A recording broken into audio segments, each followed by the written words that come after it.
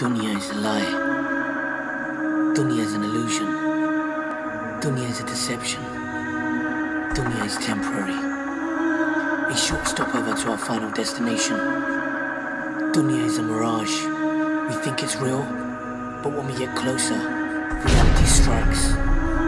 Ali radiallahu anhu said, People are asleep as long as they live, and they are awakened when they die. This life is a big test, and this world is our examination room.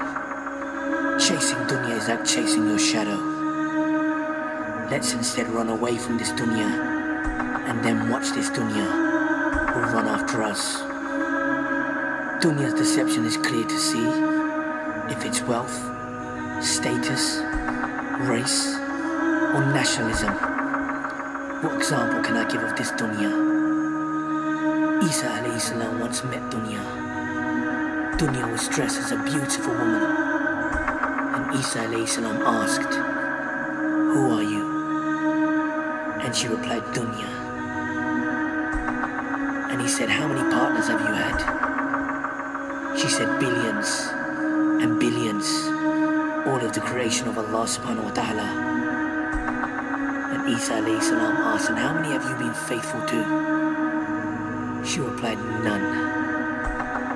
And finally, Isa alayhi said, Fool is he who falls for your deceptive ways and lies. The only truth is Allah subhanahu wa ta'ala and His Islam. And the only guarantee is kullu nafsin al maut. Every soul shall taste death. We won't die without money or status. When we die, people will eventually forget. But this is dunya.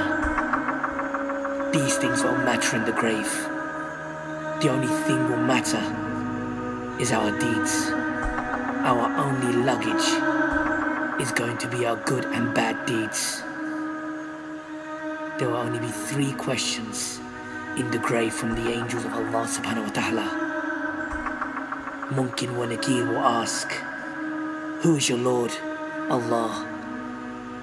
What is your deen? Islam. And who was that man we sent amongst you? Muhammad sallallahu alayhi wasallam. There will not, there will not be a fourth. How much money did you make? What was your origin?